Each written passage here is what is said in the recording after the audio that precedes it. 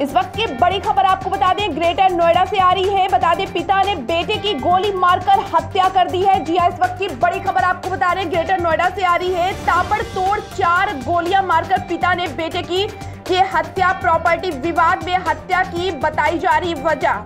आरोपी पिता पहले भी कर चुका है भतीजे की हत्या। नाना के घर में रह रहे बेटे को मारी गोली। हत्या कर पिता फरार, तलाश में जुटी पुलिस। बदलापुर थाना क्षेत्र इलाके की बताई जा रही घटना एक बार फिर से आपको बता दें, एक पिता ने बेटे की गोली मारकर हत्या कर दी। चार गोलियाँ ताबड़तोड़ चलाई, जिसकी वजह से बेटे की दर्दनाक मौत हो गई। बताया जा रहा है, पिता पहले भी भतीजे की हत्या कर चुका है। जमीनी विवाद को लेकर ये हत्या की वजह बताई जा रही है। इस वक्त की बड़ी खबर आप देख रहे हैं India twenty four into seven live TV पर। India twenty four into seven live TV के लिए लखनऊ से ब्यूरो रिपोर्ट।